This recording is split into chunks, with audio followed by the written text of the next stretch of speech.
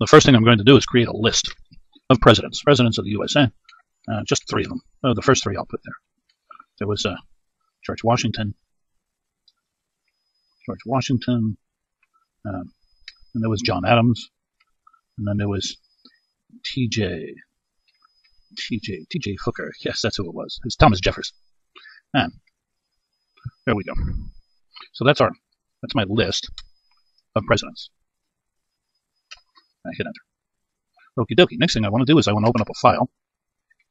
Um, file, and I'm going to, let me put that lowercase, file equals, open up a file, and I'll call this GB3, georgeboole3.txt, close it in quotes, and then W, write, so it'll create it.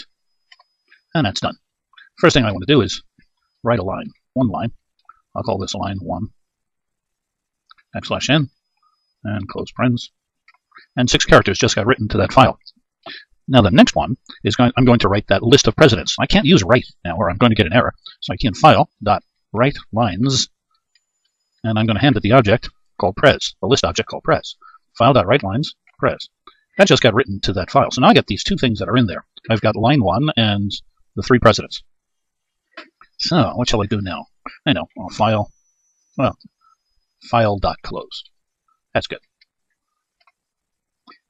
Now that means I should have that file in my directory now. Let me go get my directory, see if I've got a gb3.txt in here now. And ooh la la, mes enfants, je ne sais pas quoi, but I see that file. There it is, right there. gb3.txt, right there. Wow. There's his brother, gb2. Ah, but we did gb3. That's great. And that's in my default directory there.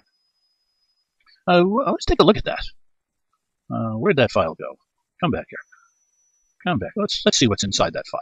If I double click on that file, it should get opened up in Notepad, and it just did. And there's the contents. Line 1, and George Washington, John Adams, and Thomas Jefferson. All right, they're there. Now, I would like very much for Python to print that stuff out. Okay, there's a plan. So, let's get Python to print out the contents of that file. So I'll say file equals open, open up the file called single quotes gb3.txt single quotes, close parens, and because I don't specify anything else, it's for reading by default.